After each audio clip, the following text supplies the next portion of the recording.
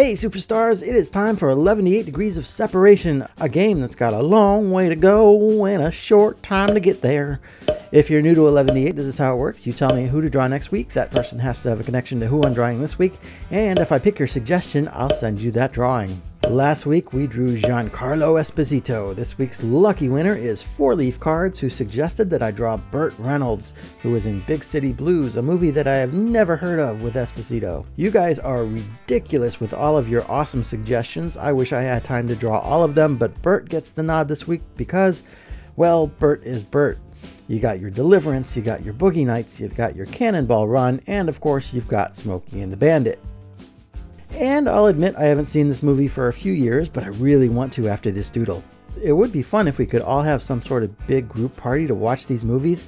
You know, like a bunch of people get together, go to some large dark room with plenty of seats and a big huge screen. Oh, and there'd be like a bunch of snacks, popcorn, and jujubes and gigantic sodas. Somebody ought to invent something like that. But I digress.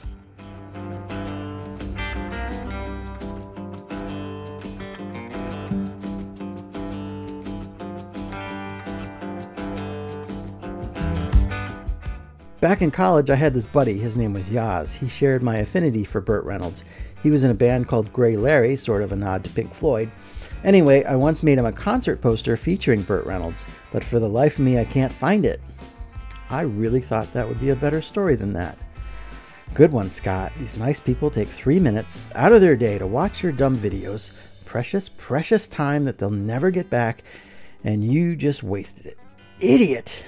Okay, okay, just breathe, buddy. Maybe they won't notice that you're talking to yourself and being a doofus. Burt Reynolds would have never called himself an idiot. He'd never waste people's time with dumb stories. Be like Burt. Be like Burt. Just take a second. It's all gonna be okay. Okay.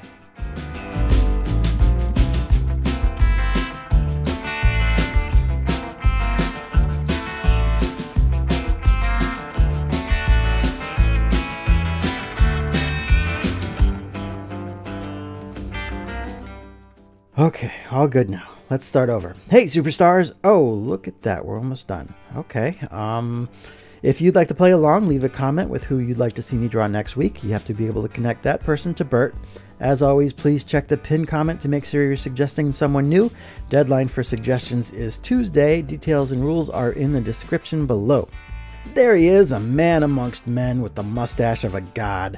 Thank you and congratulations, Four Leaf. You'll get this new drawing, and I got a new mantra. Thanks to all the rest of you for playing. Keep those suggestions coming. Good luck, everybody. And uh, one last thing. I know Burt was in Cannonball Run with Terry Bradshaw, but I am a Browns fan, so just keep that in mind.